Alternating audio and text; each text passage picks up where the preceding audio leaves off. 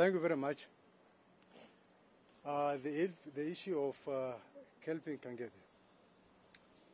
It's unfortunate that uh, after we made laborious efforts to apprehend him, that through circumstances yet to be determined, Kelvin escaped from the police custody, Muthaiga police station for that matter.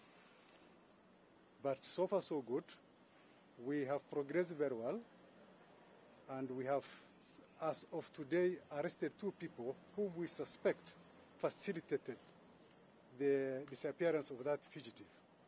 So, in the fullness of time and very soon, we should be able to apprehend him and also take action against all persons who aided or abetted the escape of Kevin from lawful police custody. Thank you.